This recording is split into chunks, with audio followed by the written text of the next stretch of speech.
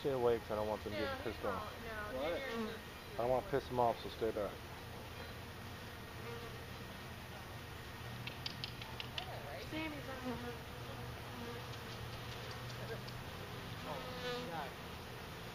Tomorrow in the morning, um, you, mean I'll go at yard something?